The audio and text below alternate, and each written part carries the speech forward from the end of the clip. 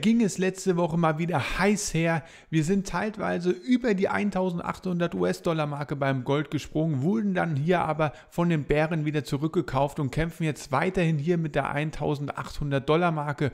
Wie es nächste Woche weitergeht, bin ich natürlich sehr, sehr gespannt. Ähm, wir werfen natürlich hier dann nochmal charttechnisch einen Blick sowohl auf den Silberpreis als auch auf den Goldpreis und schauen uns dann noch einmal einzelne Minenaktien sowohl bei Gold und Silber an. Hier bin ich teilweise dann auch in der letzten Woche eingestiegen, habe aber natürlich auch Stoppkurse hier gesetzt. Fundamental gab es auch sehr, sehr interessante äh, Zahlen, Daten und Fakten in der letzten Woche. Die Hauptnachricht des, äh, der vergangenen Woche war sicherlich der Rückzug von Bundesbankchef Jens Weidmann Weidmann, was das jetzt insgesamt für die Geldpolitik hier zu bedeuten hat und vielleicht dann auch, welche Auswirkungen dies auf den Silber- und Goldpreis haben könnte, das möchte ich natürlich auch in diesem Video mit euch besprechen. Los geht's!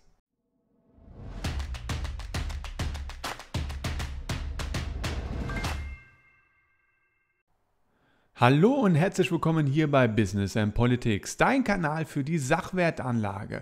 Und das war wirklich hier die Meldung des Tages. Bundesbankchef Weidmann geht. Späte Abrechnung mit der Kanzlerin. Viele warme Worte begleiten den Abgang des scheidenden Bundesbankpräsidenten Jens Weidmann, doch spiegelt sich darin weniger echtes Bedauern als vielmehr große Erleichterung. Ja, Weidmann war hier natürlich auch von vielen, vor allem den südeuropäischen Ländern, hier eher immer als Störenfried angesehen. Warum das so ist, werde ich euch natürlich im Folgenden noch erläutern. Weidmann stand mit seinem klassischen Verständnis von stabilitätsorientierter Geldpolitik Europas Europas mächtigen permanent auf den Füßen. Von der Rettung ganzer EU-Staaten mit Hilfe der Notenpresse hielt er ebenso wenig wie vom Marsch in die Transferunion, von Minuszinsen und der Entschuldung Klammerstaaten durch Geldentwertung, sprich hohe Inflation. All das erleben wir ja derzeit.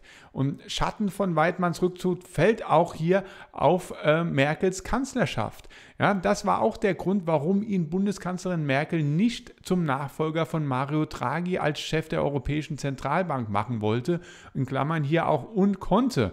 Als bloßes Feigenblatt aber wollte der heute 53-Jährige, der im EZB-Rat längst hoffnungslos isoliert war, nicht länger herhalten. Es ist gewiss kein Zufall, dass Weidmann noch in Merkels Amtszeit zurücktritt der dunkle Schatten seines Rückzugs fällt so auch auf ihre Kanzlerschaft, weil sie als deutsche Regierungschefin der Italienisierung der europäischen Geldpolitik nicht den Widerstand entgegensetzte, den Weidmann von ihr einforderte. Auf den letzten Metern wird die Kanzlerin von den Konsequenzen ihrer allzu gefälligen und ambitionslosen Politik eingeholt, in der Energiepolitik, der Afghanistan-Politik und nun auch in der Europapolitik.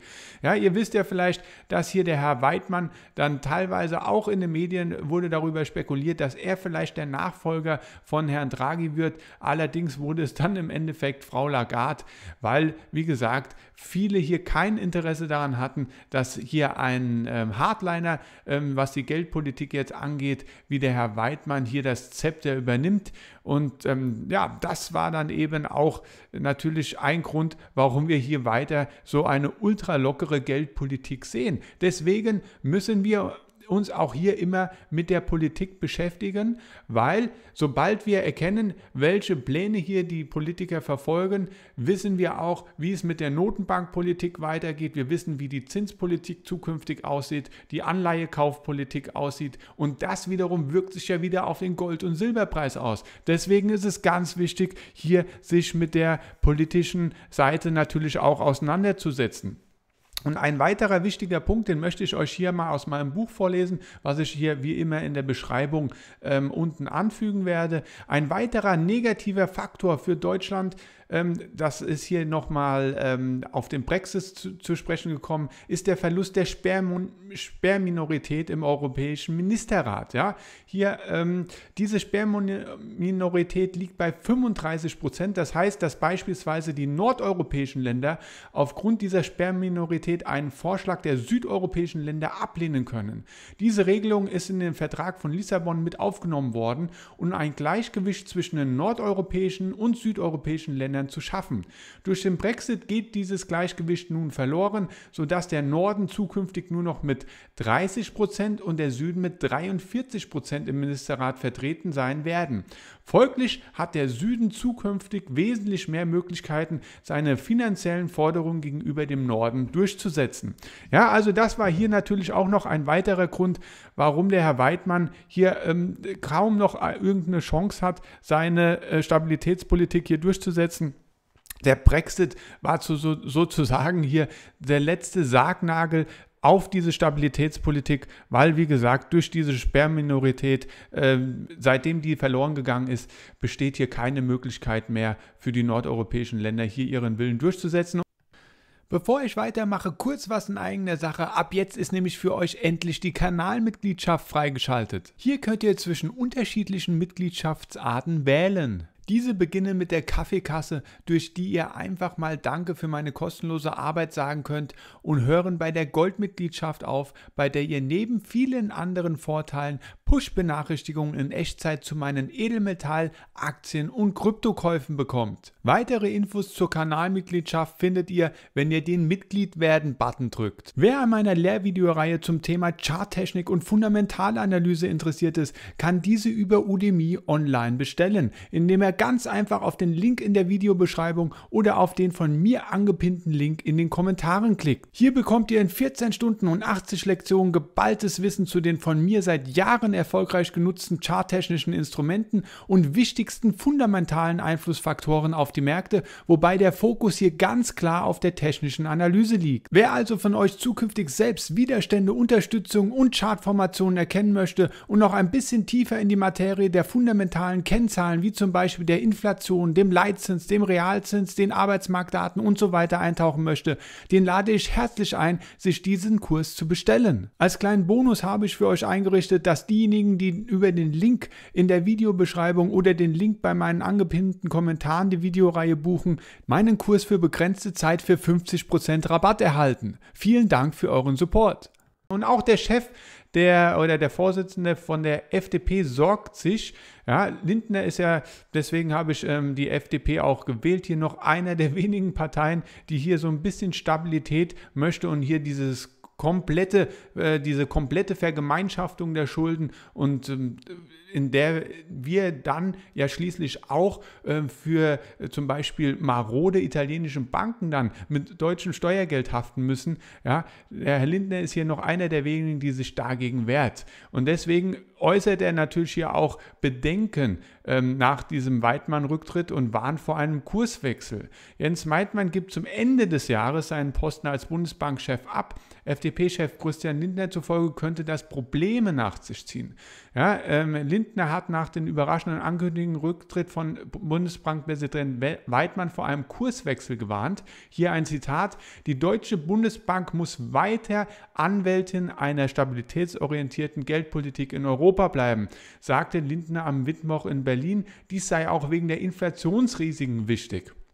Auf die FDP komme eine besondere Verantwortung zu, sagte Lindner, der nach dem Amt des Bundesfinanzministeriums in einer möglichen Ampelkoalition strebt. Hier findet ja gerade hinter den Kulissen ein Wettstreit zwischen Habeck und Lindner statt und jedem, der hier ein bisschen Stabilitätspolitik noch äh, nachhaltig in den nächsten Jahren möchte, der muss wirklich jeden Tag dafür beten, dass hier der Herr Lindner das Amt des äh, Finanzministers bekommt. Ja, wenn der Herr Habeck das bekommt, könnt ihr ja gerne mal in die Kommentare schreiben, was dann hier passiert. Seine Partei wolle dafür Sorge tragen, dass auch in Europa der Gedanke der Geldwertstabilität erhalten bleibe. Zuvor hatte Lindner auf Twitter zum Rücktritt Weidmanns geschrieben, hier wieder Zitat, mit ihm wird mit ihm war die Deutsche Bundesbank eine wichtige Stimme in Europa. Die FDP empfiehlt Deutschland Kontinuität.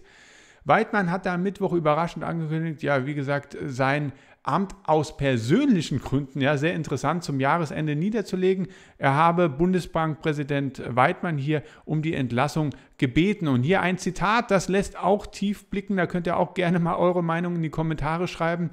Ich bin zur Überzeugung gelangt, dass mehr als zehn Jahre ein gutes Zeitmaß sind, um ein neues Kapitel aufzuschlagen für die Bundesbank, aber auch für mich persönlich.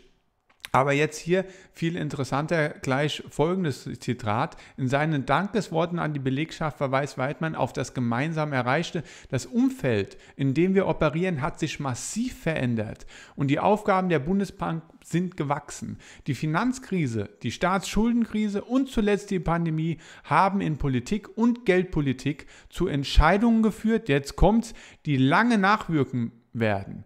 Mir war es dabei immer wichtig, dass die klare, stabilitätsorientierte Stimme der Bundesbank deutlich hörbar bleibt. Ja? Also ihr könnt hier erkennen, dass hier so ein bisschen auch der Frust mitschwingt, ja? dass einfach sich die Dinge äh, so stark hier verändert für ihn haben, dass er so seine äh, Vorstellung hier kaum noch durchsetzen kann, er hier auch den, den Zugriff auf mögliche Veränderungen verloren hat und er hat hier immer versucht, mit einer klaren, stabilitätsorientierten Stimmung noch für Stabilität zu sorgen. Aber ich glaube, er hat das jetzt hier einfach aufgegeben. Und auch hier möchte ich noch mal etwas aus meinem Buch vorlesen und ähm, das ähm, da hatte ich äh, 2018 schon mal beschrieben, wie hoch hier die Schulden äh, oder die Haftungssumme von der deutschen Bevölkerung ist. Eine Frage ist jetzt noch offen, in welchem Umfang haftet die BRD für die Anleihekäufe der EZB, die mittlerweile bei über 2000 Milliarden Euro liegen? Ja, also das, äh, wie gesagt, das Buch habe ich vor drei Jahren geschrieben. Die Haftungssumme für die Anleihekäufe liegt laut Berechnungen äh, von die Welt bei ungefähr 200 Milliarden Euro. Dies liegt an der Tatsache, dass die Länder nur für 20 Prozent der Anleihekäufe haften müssen. Weil die Bundesrepublik Deutschland mit 25 Prozent der größte Anteilseigner der EZB ist, ergibt sich eben diese Haftungssumme von 200 Milliarden Euro. Und trotz der erhöhten Haftung Deutschlands sind bei den Stimmrechten im EZB-Rat alle Länder gleichgestellt. Ja, und dies empfinde ich als ungerecht. Die Gesamtsumme, für die Deutschland durch die Anleihekäufe der EZB, die Targetsalden und den ESM haften, liegt mittlerweile bei weit über einer Billion Euro. Und diese Zahl wächst leider täglich an. So kann der deutsche Finanzminister meiner Meinung nach nicht äh, von einer schwarzen Null sprechen, weil in der Berechnung des öffentlichen Haushalts die kontinuierlich steigende Haftungssumme nicht mit einberechnet wird. Also meiner Meinung nach hatten wir in den letzten Jahren überhaupt keine schwarze Null, weil wie gesagt die Haftungssumme von Deutschland permanent hier angewachsen ist und auch der Herr Weidmann hat er hier äh, mit angegeben, dass er hier in diesem EZB-Rat äh, da keine Möglichkeit mehr sieht, äh, da seinen Willen durchzusetzen. Ich hatte euch ja auch hier eben vorgelesen, äh, jeder hat eine Stimme. Das heißt, wir sind genauso stimmberechtigt wie Malta beispielsweise, obwohl wir mit 25 Prozent an der EZB hier beteiligt sind. Ja? Also wir haben ja mit äh, die größte Haftungssumme dann natürlich. Ja? Und da würde mich auch mal eure Meinung interessieren, ob ihr das fair findet, dass wir im EZB-Rat genauso ein starkes Stimmrecht wie Malta haben, aber mit wesentlich einer wesentlich höheren Summe haften müssen. Ja? Also das äh, würde mich mal interessieren, wie ihr das hier seht. Ein weiteres Thema, was in der letzten Woche hier aufkam, was in diese ganze Gemengelage natürlich auch mit reinspielt, ist, dass ähm, die äh, Polen zukünftig nationales Recht in einzelnen Angelegenheiten vor europäisches Recht stellen möchten noch ähm, einen interessanten Artikel, die EZB in der Zwickmühle. Ja, wir sehen jetzt immer mehr Notenbanken auf der Welt überlegen, hier ihre Geldpolitik zu straffen. Nur die EZB oder die Eurozone sind hier in einer Sonderposition. Ja, nur die EZB nicht, weil sie Rücksicht auf die Lage in Südeuropa nehmen muss. Ja, ob die Inflation nur vorübergehend oder doch nachhaltig ist, diese Diskussion kann den Autofahrern egal sein. Die Teuerung und damit die Geldentwertung können Sie täglich an den Tankstellenpreisen ablesen. Der Liter Diesel kostet so viel wie noch nie.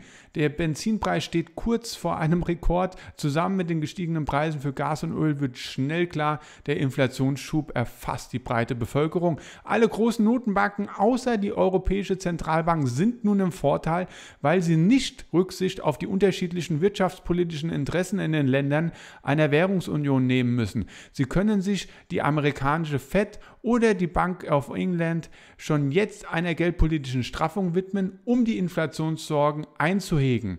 Die EZB hofft dagegen weiterhin auf einen vorübergehenden Effekt, der schon bald wieder abklingen möge. Doch sollte das nicht der Fall sein, was die steigenden Rohstoffpreise nahelegen, riskiert die EZB ihre Glaubwürdigkeit im Kampf für die Geldwertstabilität. Das wäre ein Problem, weil das Vertrauen der Bevölkerung für die Notenbanken unerlässlich ist. Es geht verloren, wenn sich der Eindruck durchsetzt, die EZB meidet es, die Käufe von Staatsanleihen zu beenden und die Zinsen zu erhöhen, weil es sich die hochverschuldeten Staaten in Südeuropa nicht leisten können. Die EZB muss sich aus dieser Zwickmühle befreien. Und das ist ja das, was ich euch hier schon die ganze Zeit sage, dass ich mir schwer vorstellen kann, dass bei diesen hochverschuldeten Südländern, wie gesagt, und in den 20 stärksten ähm, äh, gemäß des BIP verschuldetsten Ländern der Welt waren ja fünf oder sechs Länder aus, in der, aus, aus der EU, habe ich euch ja schon häufiger gezeigt. Und wie das dann funktionieren soll, weiß ich nicht. Ähm, deswegen wird das hier sehr, sehr interessant. Äh, die äh, Bank of Inland hat hier nämlich schon Zinserhöhungen zum Beispiel angekündigt. Ja, auch andere Notenbanken schon. Die jüngsten Äußerungen führender britischer Notenbanker haben zu einem starken Meinungsumschwung an den Finanzmärkten geführt. Nur, nun erwartet eine große Mehrheit schon bald eine Anhebung des Leitzinses, der seit März 2020 beim Rekordtief von 0,1 steht. Und ja, also das heißt, ihr könnt hier deutlich erkennen, nach den Zinssätzen am Terminmarkt erwarten nun etwa 90 Prozent der Anleger, dass die Bank of England schon auf ihrer Sitzung am 4. November den Leitzins auf 0,25 Prozent erhöht. Und auch die FED erwarten ja die Anleger, dass die schon hier im nächsten Jahr mit Zinsschritten nach oben anfängt. Und das heißt natürlich, alle beginnen hier ihre äh, Zinsen zu erhöhen. Nur Europa hat hier weiterhin massivste Schwierigkeiten. Und das hängt eben mit diesen Tatsachen zusammen, die ich euch hier schon häufiger erläutert habe. Und eine Konsequenz daraus ist jetzt der frustrierte Rückzug von Jens Meitmann, der meiner Meinung nach bedeutet, dass das ganze Spiel jetzt hier weitergeht und weiterhin somit auch die Anlage, die Geldanlage in Sachwerte interessant bleibt. So, dann kommen wir jetzt hier zu den Renditen der 10-jährigen US-Staatsanleihen. Das ist ja immer sehr wichtig für unsere gleichen Renditen der 10-jährigen US-Staatsanleihen minus Inflationsrate ergibt ja hier den Realzins. Und wir sehen, dass wir mittlerweile bei einer Rendite von 1,63 sind. Und das ist natürlich auch eine Tatsache, die den Goldpreis hier weiter belastet, steigende Renditen. Aber ich sehe hier hoffentlich erstmal zwischen, äh, zwischen 1,75 und äh, 2,0 einer Rendite so erstmal eine, einen Deckel nach oben, sodass dass es dann hoffentlich hier nicht weiter nach oben geht und dann hoffentlich dann bei weiter hohen Inflationsraten der Goldpreis dann langsam ähm, mal anfangen könnte dann zu drehen und nachhaltig endlich mal zu steigen. Wir sehen auch hier beim Dollar sind wir weiter hier ungefähr bei 1,16. Ja, äh, seit dem Mai, wo wir hier noch bei 1,22 waren, äh, ist der Dollar doch im Vergleich zum Euro sehr stark geworden. Und ich glaube, dass das hier auch so weitergehen wird. Ja, weil, wie bereits angedeutet, die EZB wesentlich größere Probleme aufgrund der Verschuldung der südeuropäischen Länder haben wird, hier ihre Zinsen mal zu erhöhen im Vergleich zur FED. Deswegen wird der Dollar meiner Meinung nach ähm, stärker gegenüber, an Stärke gegenüber dem Euro gewinnen. So, dann kommen wir jetzt hier mal zum äh, Kurs. Und da sehen wir, dass wir hier weiter beim Goldpreis unter der 50-Tage-Linie hier äh, kämpfen, ja, mit der 50-Tage-Linie kämpfen bei 1790 Dollar. Das ist hier auch die lilane Linie, ist ein Triple-Top aus dem Jahr 2011. Das sollten wir auch endlich mal nach oben hin äh, durchstoßen. Und, ähm, aber ganz gut ist, dass wir hier über das 23,6er Retracement von dem kurzfristigen Retracement endlich drüber gelaufen sind. Das, äh, dieses kurzfristige Retracement hatte ich hier von dem Tief bei 1680 bis zum Allzeithoch gezogen. Ähm, und besonders, ein besonderes wichtiges Retracement ist das 38,2er Retracement.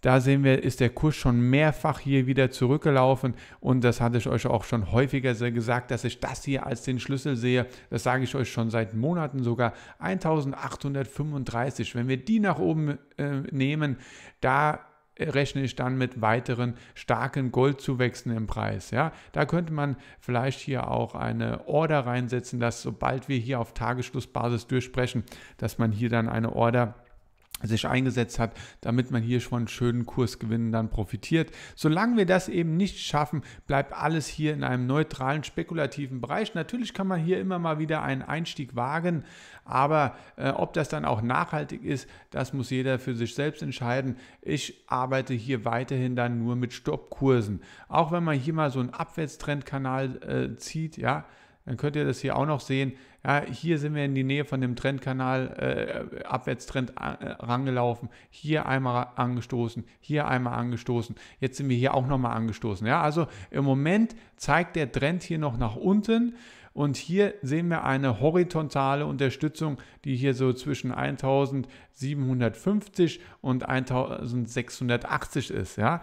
Wenn wir diese horizontale Unterstützung dann nach unten durchsprechen, was durchaus sein kann, weil das dann hier im Endeffekt dann eher so ein ähm, ja, absteigendes Dreieck dann ist, dann könnten wir hier auch dann nochmal Kurse von 1500 vielleicht sogar sehen. Ja, hier in diesem Bereich 1560 bis 1500 könnte es dann hier nochmal runtergehen. Ja, also es bleibt weiterhin sehr, sehr spannend. Ich arbeite weiterhin hier nur mit Stoppkursen, bin aber jetzt auch mal hier in Minenaktien reingegangen. Hatte ich euch ja letzte Woche schon erzählt, bei Newman hatte ich hier bei um die 54 mal einen Einstieg gewagt. Ich werde aber wieder rausgehen, wenn wir hier die 50-Tage-Linie durchbrechen nach unten hin, das heißt hier so bei 55,7 ja, würde ich dann hier wieder aus dem Kurs aussteigen. Nach oben hin ist hier ein ziemlich starker Widerstand bei 60 Dollar. Dann schauen wir uns hier nochmal Barrick an. Auch hier bin ich jetzt mal eingestiegen. Ja, ungefähr bei 16,5. Und man kann hier auch einen wunderschönen Stoppkurs setzen. Hier äh, unter dieser lilanen Linie, die ich hier eingezeichnet habe, beziehungsweise der 200-Tage-Linie auf ähm, Wochenchartbasis. Die ist hier bei 15,3, könnte man dann hier einen Stopp setzen. Auf Ta beim Tag sieht man auch, sehr schön hier die 50-Tage-Linie. Diejenigen, die ihren Stopp nicht so weit unten setzen möchten, können hier auch ihren Stopp bei 16,1 setzen. Ja? Dann ähm, ähm, hat man hier dann nicht so große Verluste, falls man hier ausgestoppt wird. Wichtig wäre es, wenn wir auf Tageschartbasis über die 200-Tage-Linie bei 17,3 laufen. Dann beim Silberpreis sieht es ein bisschen besser aus. Hier haben wir so eine Art inverse Schulter-Kopf-Schulter ausgebildet. Und wir sind jetzt hier auch über die 50-Tage-Linie gelaufen. Und ähm, wichtig wäre es dann auch, dass wir hier natürlich weiter nach oben laufen. Und ähm, hier über die 200-Tage-Linie auf Tagesstartbasis, ja, das wäre bei 25,5. Ein Tagesschlusskurs hierüber wäre ein sehr bullisches Signal. Aber ähm, hier zeichnet sich doch auch ein ganz zarthafter Trendwechsel an. Wir sehen hier so einen Abwärtstrend, den wir hier äh, hatten, also einmal angestoßen, zweimal angestoßen, ja, und jetzt sind wir hier mal durchgebrochen und äh, wäre schön, wenn wir jetzt hier weiter nach oben laufen. Stoppkurse könnte man unter der 50-Tage-Linie bei äh, 23,2 setzen, beziehungsweise unter dem 38,2er Retracement bei 22,3 ja, in diesem Bereich. Auch hier bin ich ja mit meinen Kanalmitgliedern hier bei 22,2 in etwa eingestiegen. So, dann habe ich auch hier bei First Majestic Silver, könnte man auch natürlich zugreifen. Wir sehen hier einen horizontalen Widerstand bei 11,2. Da sind wir jetzt leider wieder nach unten abgetaucht. Ihr seht hier diesen langen Docht nach oben. Ja, das ist eigentlich ein ziemlich sperrisches Zeichen. Wichtig wäre, wenn wir hier auch über der 50-Tage-Linie bleiben. Auch hier könnte man einen Stopp bei 10,2 ähm, Euro setzen. Dann schauen wir uns hier noch Fresnillo an. Auch ein Silberminenproduzent äh, und da könnte man hier natürlich auch einen Stopp unter der 200-Tage-Linie setzen, so bei 10,1. Ja, oder auch hier ist auch eine horizontale Unterstützungszone, das 50er Retracement. Auch hier könnte man bei 9,9 einen Stopp noch setzen. Ja, also Fresnillo sieht hier gar nicht so schlecht aus, äh, besser als ähm, die First Majestic Aktie jetzt hier vom Chart her. So, wenn euch diese, dieses Video einen Mehrwert geliefert hat, dann abonniert doch einfach meinen Kanal, lasst ein Like da. Mein Name ist Finn Bartels und ich wünsche euch einen wunderschönen Tag.